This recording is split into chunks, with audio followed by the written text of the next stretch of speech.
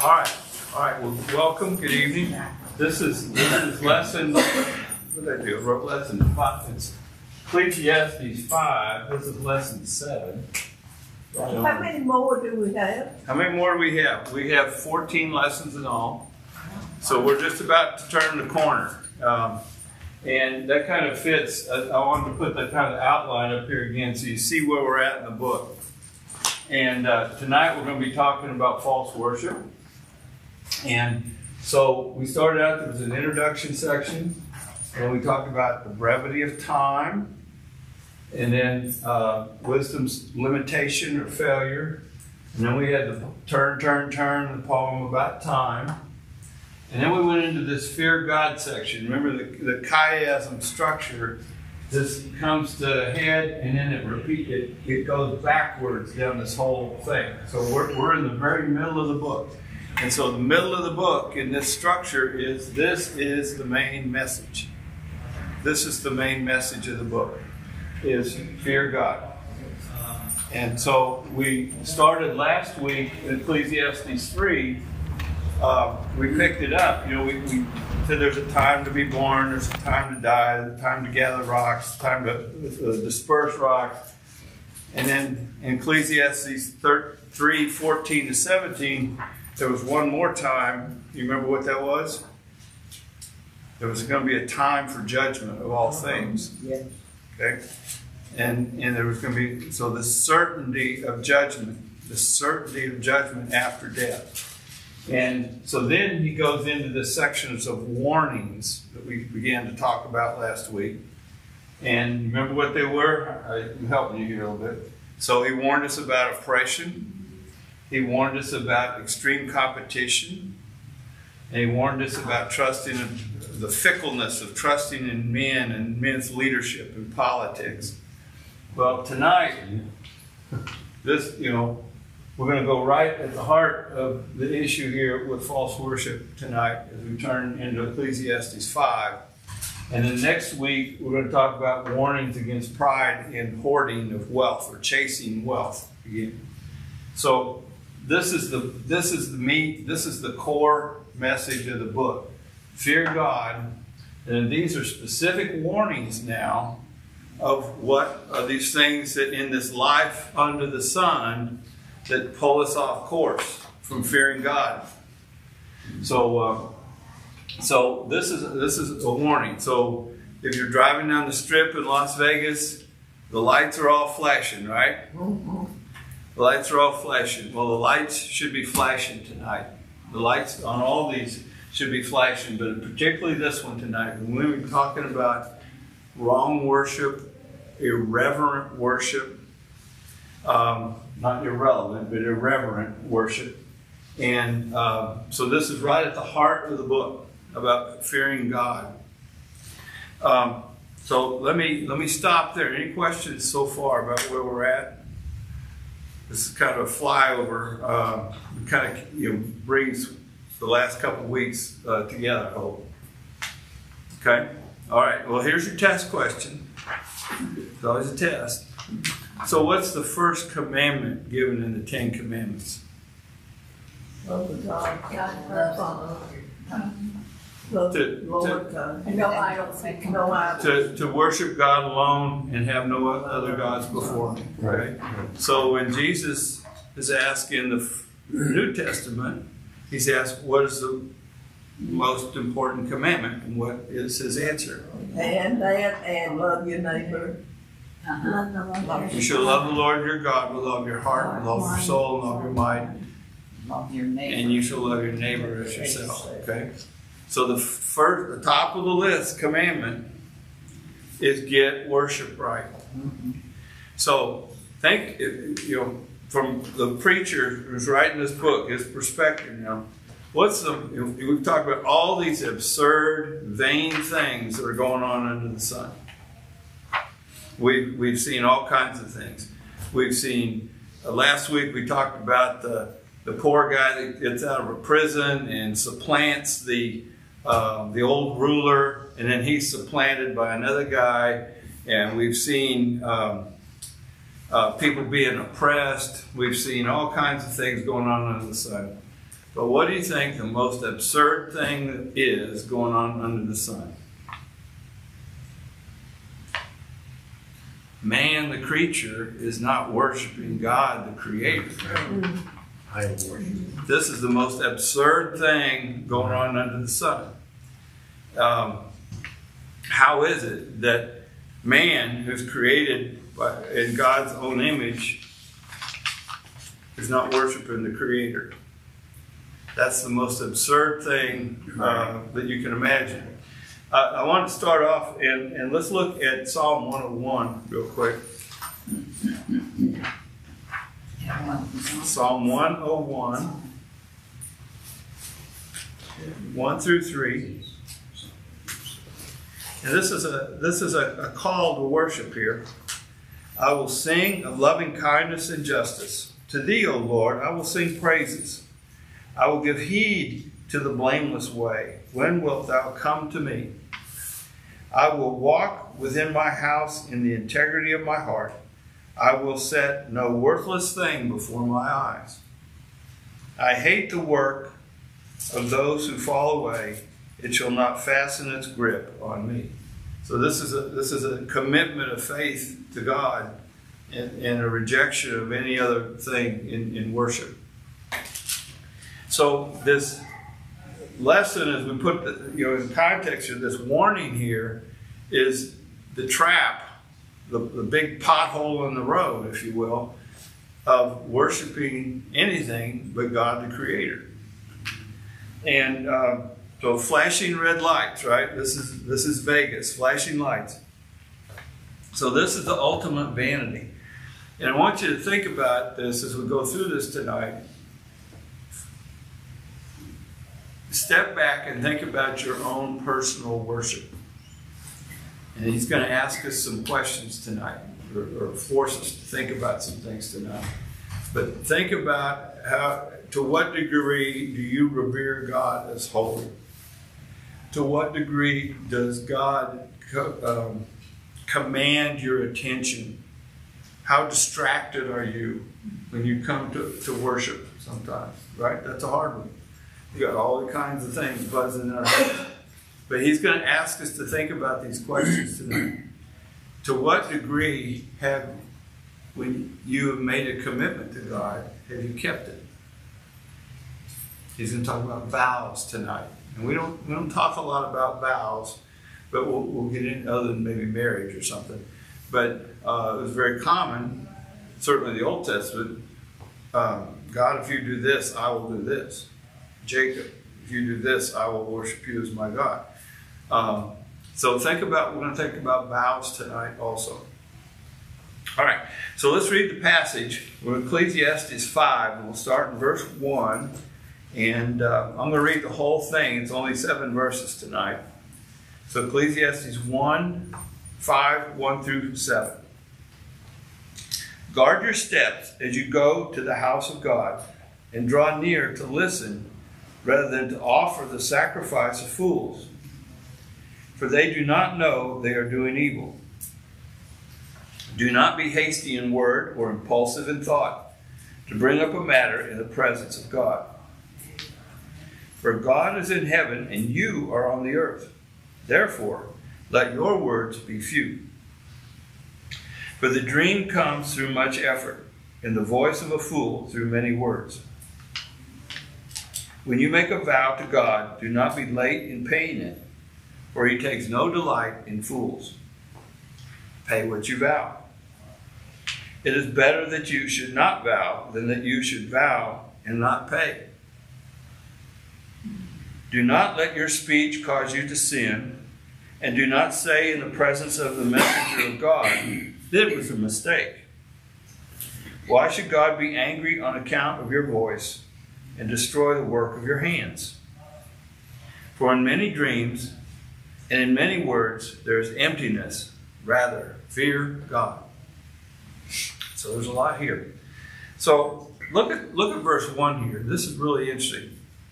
He says, "Guard your steps as you go to the house of God to worship." And think about where he's been in, in this book, right? And he's talked about all this chaos going on under the sun and all this rebellion going on against God. And yet, in verse 1 there, he assumes that man's going to go and worship. So we're created as spiritual beings. We're created to worship. And it's, it, it, it, from the Bible's perspective, it's not a question of if you're going to worship, it's a question of who you're going to worship, or, or perhaps what you're going to worship. So even, even if an atheist says, well, there's no God, well, guess what? He's probably still going to worship himself. Is he talking to all mankind or just to the Jews? He's talking to everybody, I think. I think.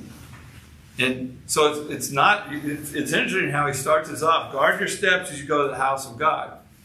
One way or the other, you, uh, we're going to worship something. We're going to worship somebody or something. And so the, the, the assumption is that, that as man, you're going to worship something or someone. And he tells, he tells us to guard our steps.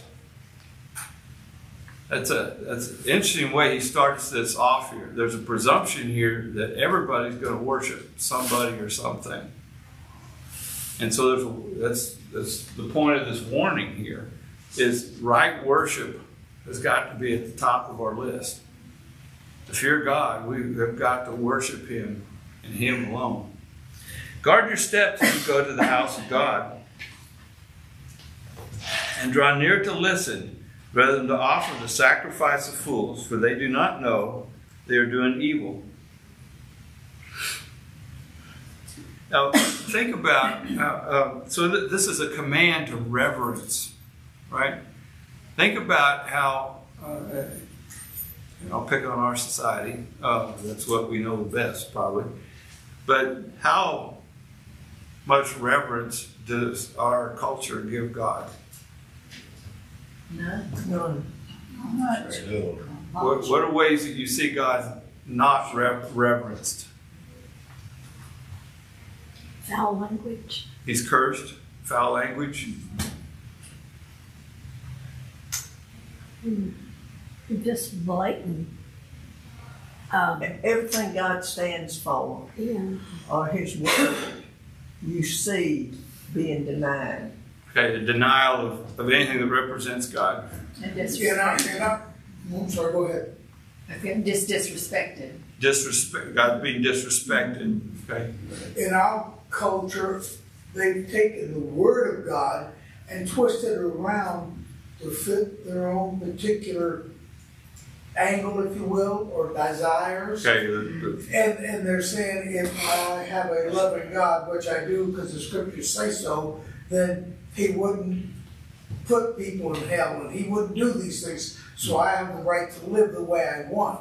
yeah. So basically, saying I can make God be what I want Him to be. Yeah, and I they can- use the scriptures to prove that. I can make God into what I want Him to be. Mhm. Right. Uh, uh, the the the one I, I, I that comes to mind um, is when sometimes people will say in prayer they're talking to the man upstairs. Mhm. Okay, that one always just kind of zings me, right? Because it's a, it's a lack of reverence. He's not a man upstairs. Jesus is the God man. I'll, I'll give him that. But the the idea is that I'm talking to somebody who's an equal to me. That's kind of what's portrayed, the man upstairs. Okay, but uh, in general, our society doesn't reverence God very much. This is a command to reverence God. Guard your steps. Proverbs 3 6 um, talks about guarding your way. I, I mentioned early on here, there's at least probably 50 direct or, or, or allusions to Proverbs. There's about another 50 or so allusions or direct quotes out of the Psalms. And so a lot of times what he does here is in, in Proverbs 3, like he does in Proverbs 3 6 when I get there. Proverbs 3 6. Um, or, um, in all your ways, acknowledge him and he will make your path straight. This idea of acknowledging God in your steps. So guard your steps as you go to the house of God and draw near to, what's the word? Listen. Listen. Listen. What what goes with listening in, in a relationship? Keep your mouth shut. Keep your mouth shut. But what? I'm looking for another word that starts with H. Humility. Humility. Humility. Reverence and humility before God here. Uh, draw near to listen. Um, I, won't, I won't chase it, but I wrote down Matthew 5 3 in the, in the, uh, in the note there. This is from the Sermon on the Mount. Blessed are the poor in spirit. All right? Blessed are the poor in spirit. Be poor in spirit means to be humble, mm-hmm. to come with a listening heart to God. And and they, like you guys were saying tonight, this is all in direct conflict and opposition to most of what's going on around us today.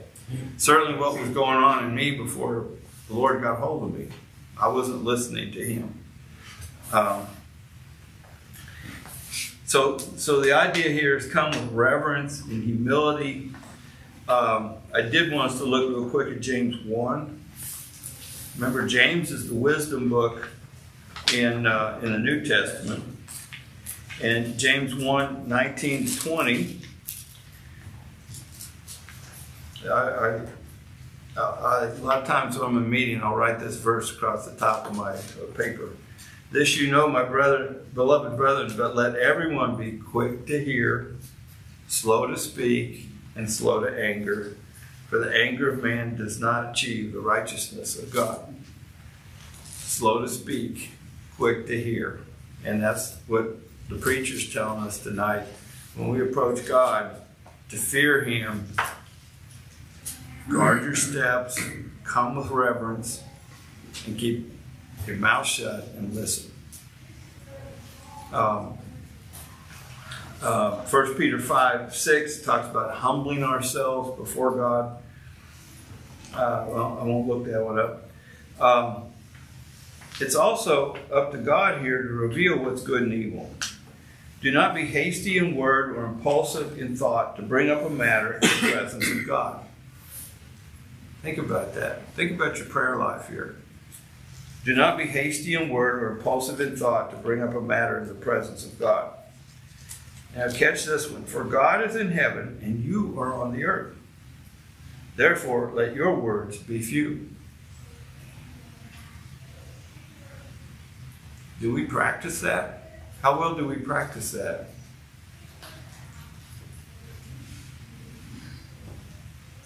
Think about, think, you know, I'm talking to myself here. Think about your prayer life. You know, we'll start rattling off, God, help me with this, help me do this. Exactly. Right? We, we, we're looking for what He's going to do for us rather than looking to Him and reveling and admiring His holiness. What was Isaiah's uh, response? Most, most of the people, when they have some encounter with God in, in Scripture or even with an angel, what's their usual, what, what do they, how do they respond usually? Fear. fear and reverence because of, of, the holiness of God and his angels. How did Isaiah, in Isaiah 6, you know, he, he's in the temple and God appears before him, and what does he say? Unclean lips. Holy, holy, undone. holy. I am undone. I'm a man with unclean lips and a people of unclean lips. I am undone. And that's what the preachers tell us tonight. That should be our, our, our approach to God rather than coming in pride and telling God what to do or telling Him how, he run, how to run things. Right? Have you, have you caught yourself in prayer doing that? Where you're telling God this needs to be done, this is how it needs to be? Well, He tells us to watch for that. Don't you think that's human nature? That well, exactly, exactly. That's why this is a warning. yeah. That's why this is a warning. This is a warning about how we think of ourselves. You know, we're not God's equal. We're a created being. We're down here in the vanity, in the absurdity of what's going on in the sun. Mm-hmm. He's on his throne in heaven, sovereign over every detail. Well, I'm so glad God has a sense of humor. Some people really be upset with It me is. sometimes. It is. It is uh, I've had some ironic, ironic things in my life where I've said silly things, and, and God has, uh, in His sense of humor, has uh, helped me understand things differently. Yeah. But um, one of the things I, I wanted to that goes with this, God being in heaven, is uh, look at Psalm 50. He's the one that gets to decide what's right and what's wrong. Right? Don't we want to claim that right for ourselves sometimes? Certainly our, our culture would. Um, Psalm 50, let me, let me start in uh, verse 3. Well, let me just start in verse 1. The mighty one, God, the Lord, has spoken and summoned the earth from the rising of the sun to its setting. Out of Zion, the perfection of beauty, God has shown forth. May our God come and not keep silence. Fire devours before him, and it is very tempestuous around him. He summons the heavens above and the earth to judge his people. Gather my godly ones to me, those who have made a covenant with me by sacrifice. Now, catch this. And the heavens declare his righteousness. For God himself is judge. God is the one who's going to be the judge. He's the one that makes up the rules. He's the creator. He gets to declare what's good and what's evil. That's not our job. It was never our job, but we're sometimes we want to try to do that. That's part of this reverence. He's on the throne. He's sovereign. We've seen this over and over again in Ecclesiastes. He's sovereign. And he's sovereign over what's good and what's evil. I didn't want to uh, chase it here, but all you know, he's reminding us about this idea of discipline in how we approach God and treating him with utter holiness. And I won't take us there, but Nehemiah 1, this is Nehemiah's great prayer where he prays, he, he, you know, he's praying for, they've told him that the walls are torn down in Jerusalem and his, um, uh, he, he, prays this great prayer for God to intervene uh, for the sake of his people. But the reason Nehemiah could pray that prayer because he had this high regard for God and he had this discipline in prayer of coming before God in in his holiness, you know, approaching God in holiness. And I just use that as an example tonight. Um, Isaiah 45, I got you on a, a little Bible adventure here tonight. Isaiah 45 kind of gets to this point too. Isaiah 45, 9 to 11.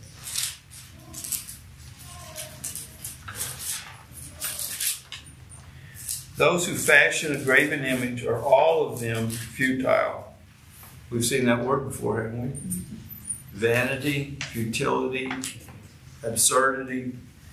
Those who fashion a graven image are all of them futile, and their precious things are of no profit. We've seen that in Ecclesiastes too. This is not profitable. Even their own witnesses fail to see or know, so that they will be put to shame. Who has fashioned a god or cast an idol to no profit? Behold, all his companions will be put to shame, for the craftsmen themselves are mere men.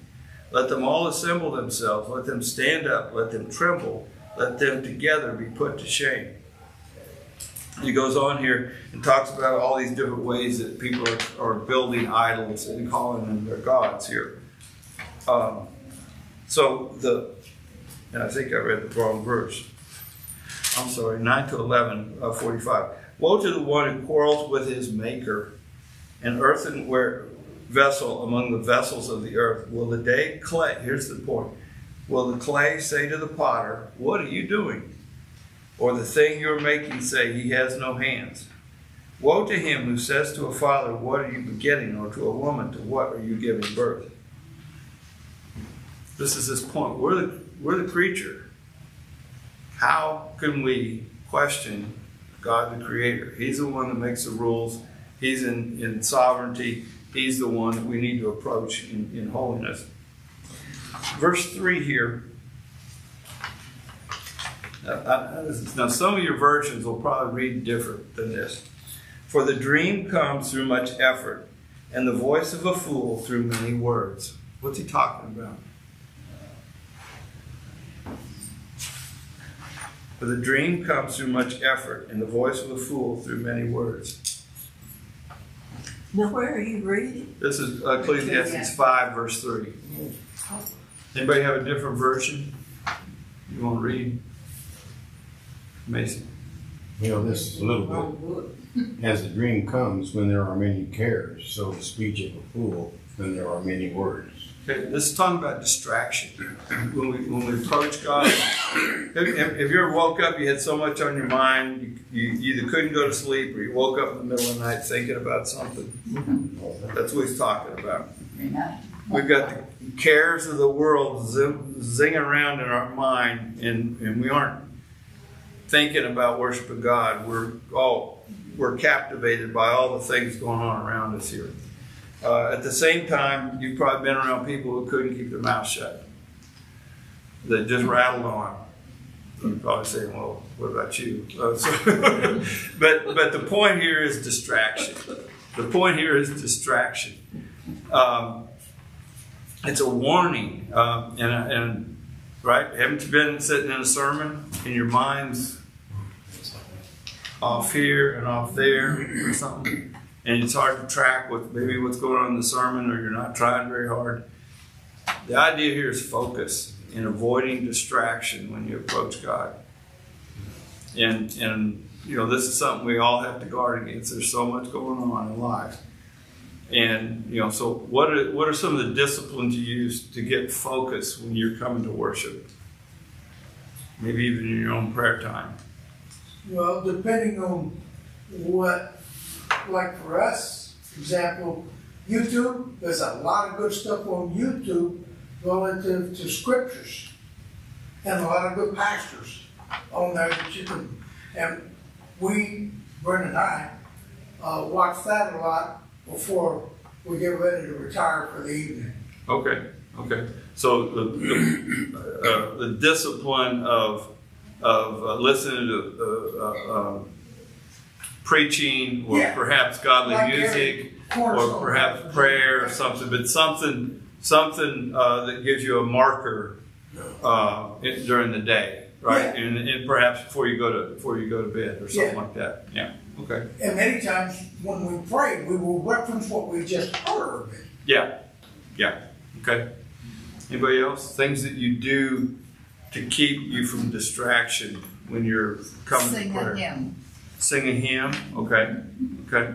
When I'm on my way to church driving, I usually play um, music hymns so that I can, because when we get up, everybody is going different ways. We have an eighth grader that's doesn't want to go, but he and he didn't lay his clothes out the night before, so he can't find things. And I mean, it's just hectic getting out, which is kind of funny because that happened to us when our daughter was running. It was hectic to get it out. And we'd get out of the car and people would say, How are you doing this morning? And even though we were like this, we'd go, We're oh. just doing great. Yeah. Right. that, that battle to get to church. Yeah. That battle.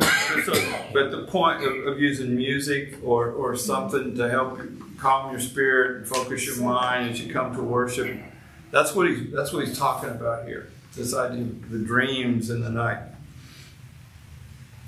Okay, so um, God does place things on our heart. Uh, Psalm 37 4, where he, he talks about where He gives us the desires of our heart.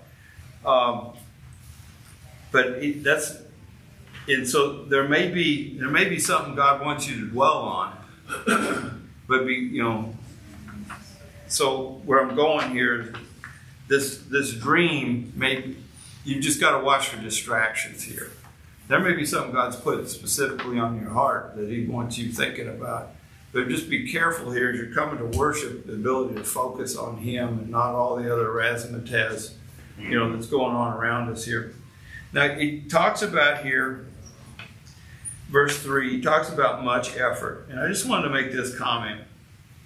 Um, there's nothing in Scriptures that says it's easy to worship God or to read His Word or to understand His Word. there's nothing in Scripture that says this is an easy job to do. That when you get your Bible and you read and you say, well, gee, I didn't understand that. Yeah, like most of us. So you got to dig. You got to work at it. But so I just want to make this comment, you know, that sometimes we flip, kind of flippantly say, well, you know, I guess I, I didn't really understand that in Scripture. You know, I'll just kind of read over that and move on and everything. God's Word is all of God's Word, and it's all equally holy, and it's all equally our, to our benefit. I just, I just want to encourage you here, you know, to work at it. Worship requires work. Reading Scripture requires work. Um, to put to put much effort into it because he's, he's worthy of that, right? But I just want to make that remark because um, I have heard, particularly new Christians, sometimes will say, "Well, well, I read it. Well, why, you know, how come this book is organized like it is, and why is the language like it is, and why doesn't it read like one of our books?" You know, uh, that, that in other words, coming to Scripture that it ought to just be easy to get it, right? That's where a good study Bible comes in handy. And there's a lot of good aids, right? There's a lot of good helps. We've got more we've got more access to scripture and more access to helpful things to help us learn than any other generation Absolutely. in And we, mankind. and we know less. Uh, we may know less. Yeah, yeah. But I just I just want to um, encourage it. Put mu- like the because the scripture in verse three talks about much effort here. We put a lot of effort into our work. We put a lot of effort into all kinds of things. How much effort do you put into scripture? That's that's just a little side comment you got for free tonight. All right. So let's talk about careless worship. And that's what the last part of this is about. I'm going to read it again. When you make a vow to God, do not be late in paying it, for he takes no delight in fools. Pay what you vow. It is better that you should not vow than that you should vow and not pay. Do not let your speech cause you to sin, and do not say in the presence of the messenger of God that it was a mistake. Why should God be angry on account of your voice and destroy the work of your hands? For in many dreams and in many words there is emptiness rather than fear of God. So what about vows here? What, why is he bringing vows up?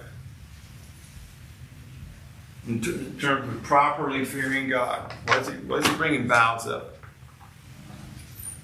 Back in the day, when they wanted to, they meaning the Jewish nation, when they wanted to make a contract, if you will, that's what they used. Okay. Okay. So a vow was um, kind of a covenant. Was a type of covenant, right? If you do this, I'll do this, right? Yeah, it's a con- If you do this, I'll do this. And we and we see that sometimes in the Old Testament. We, we different characters are saying, "God, if you'll do this, then I will do this." Um, what did Jesus say about vows? Remember Sermon on the Mount? Let your yes be yes and your no be no Don't make, yeah. Complete complete integrity. The idea is you shouldn't need a vow that your word should be good. Is, is what he's saying here, and that's that's really what the preacher's telling us here. That we should be have complete integrity with God and I would have and with men, in in in worship. So if you've made a vow of some sort, keep it. Pay your vow. Well, uh, you remember what Jesus said in the Sermon on the Mount, where he said, "If you if somebody's got something against you, what are you supposed to do before you uh, worship? Go clear it up. Go fix it. Go fix it. Go take care of it. Go make it right." And that's the same thing that the preacher's telling us tonight. If you've got a vow or some commitment you've made to God, and you haven't kept it, you need to clear that up. You need to take care of that. Now, I, you know, we don't talk a lot about vows, but if you've made a vow or a commitment that you haven't kept to God, um, that needs to be, it goes to God's reverence and holiness here, right? It's, we shouldn't flippantly say, eh, you know, I just, that's what he's saying. I, I made a mistake. I didn't really mean it.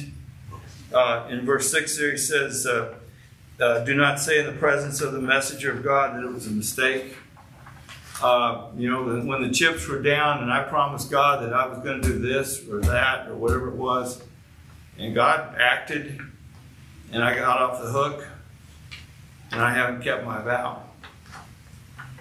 Uh, there may be things in, in your life like that, but take take inventory.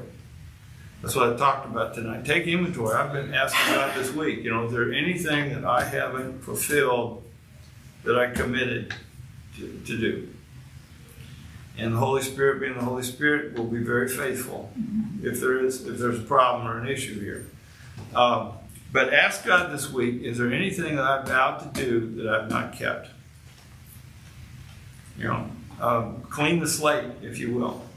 Clean the slate. But the point here is treating God with absolute reverence. If you had a, a friend or something and you loaned him some money, would you want him to pay you back? No, Not necessarily. If, it, if you intended it to be a gift, perhaps. well, no, if, if, but if you loan them money and you, that's what the scriptures say, don't loan money expecting it to come back. Okay. But what if it wasn't a friend? But what? What if it wasn't a friend you gave you you loaned the money to?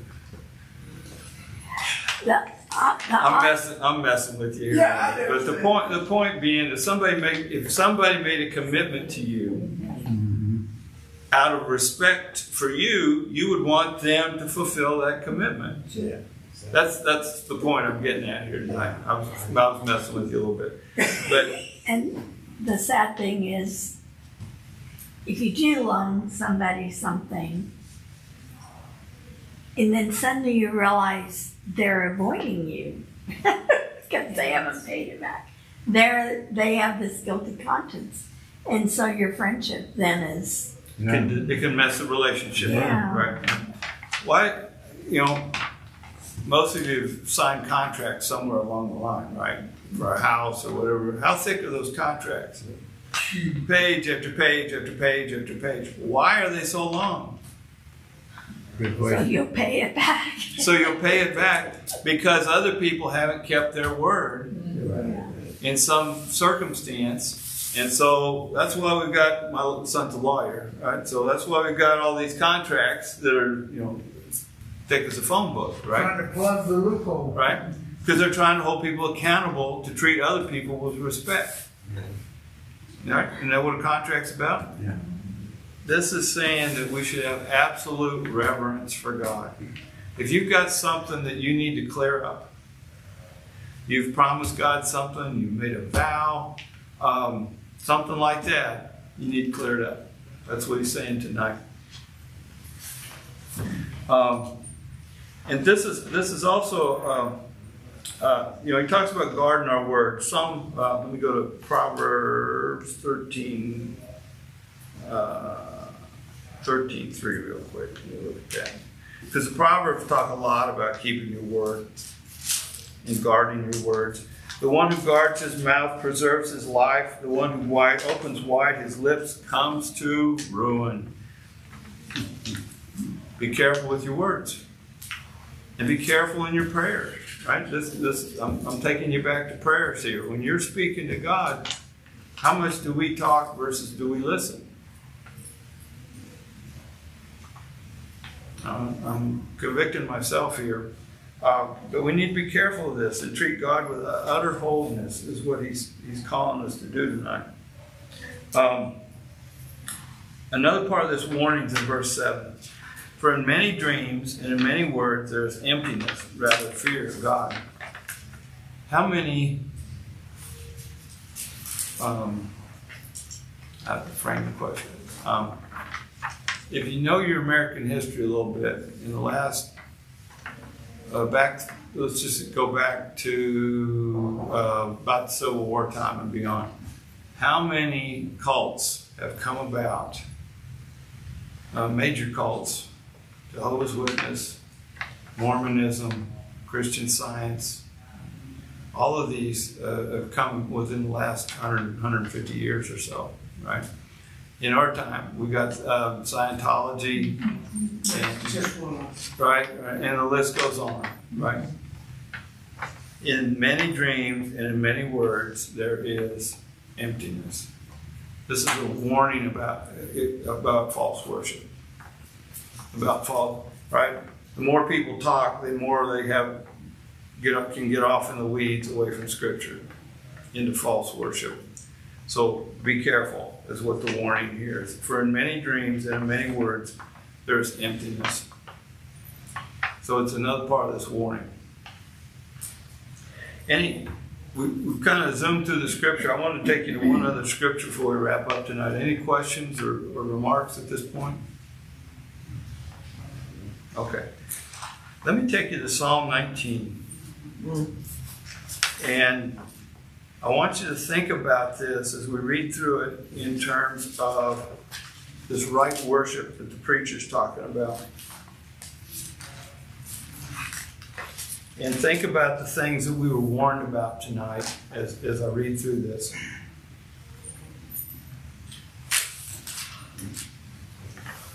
Okay, all right, here we go. Psalm 19:1. The heavens are telling of the glory of God, and their expanse is declaring the work of his hands. Day to day pours forth speech, and night to night reveals knowledge. And there is no speech, nor are there words. Their voice is not heard. Their line has gone out through all the earth, and their utterances to the end of the world. In them he has placed a tent for the sun, which is as a bridegroom coming out of his chamber. It rejoices as a strong man to run his course. Its rising is from one end the, of the heavens, and its circuit, remember Ecclesiastes 1, to the other end of them. And there's nothing hidden from its heat. So all of the creation is screaming out God's glory. The law of the Lord. Now, we're going to go from general revelation to special revelation in Scripture. The law of the Lord is perfect, restoring the soul. The testimony of the Lord is sure, making wise the simple. The precepts of the Lord are right, rejoicing the heart. The commandment of the Lord is pure, enlightening the eyes. Verse 9 The fear of the Lord is clean, enduring forever.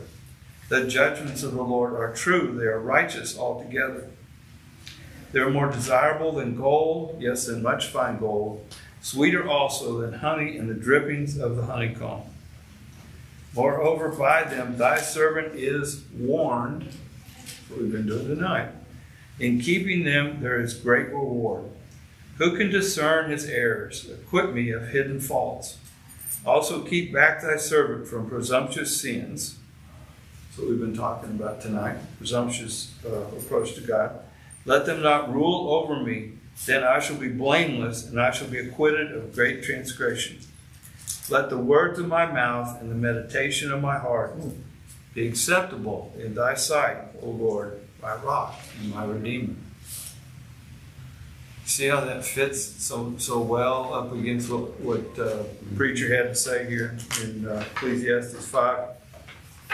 So this is a, a, a call tonight, you know. So, so all of us have worshiped false gods in some form or fashion.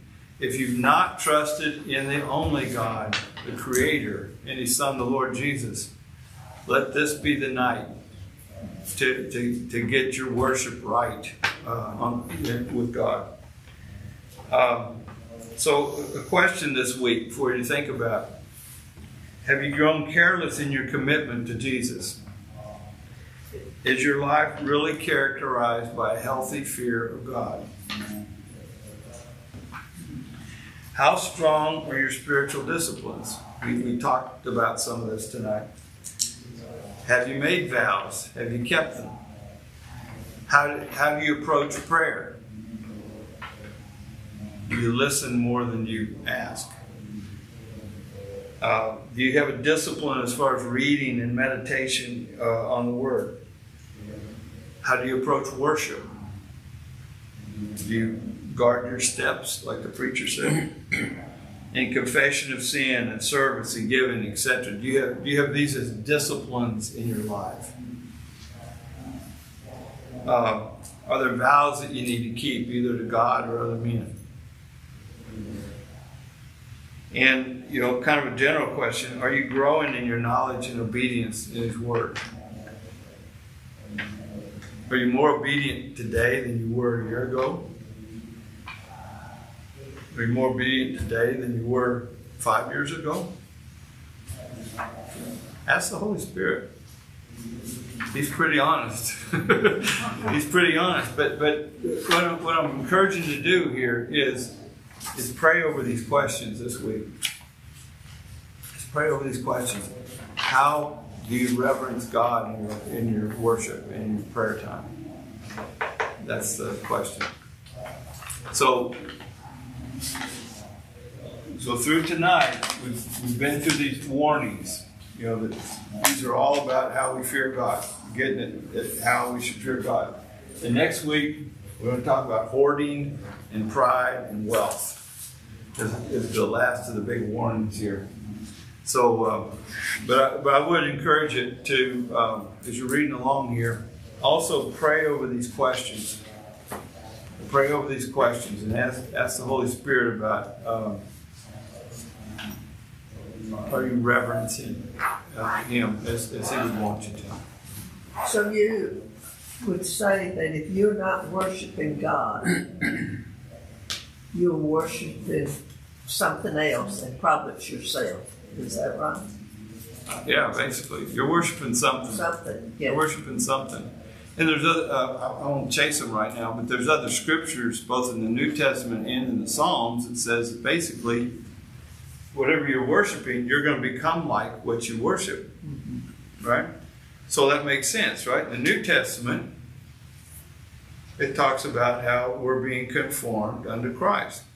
So the more you worship Jesus, the more you abide in Christ, like the pastor gave in his devotional tonight, the more you're going to become like Christ to the point where Ephesians says that one day we're going to stand blameless before Him. Can you imagine?